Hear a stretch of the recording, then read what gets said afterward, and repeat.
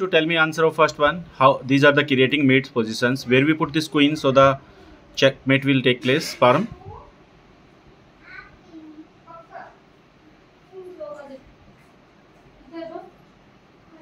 Um, on b5.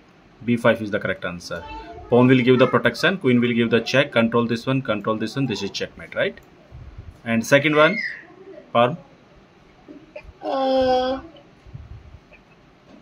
b2. yes b2 is the perfect move. Knight will give the protection.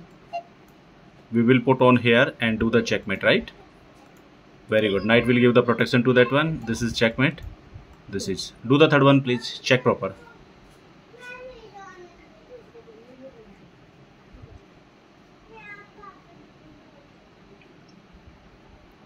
Where we put the queen so the checkmate will be take place. G7.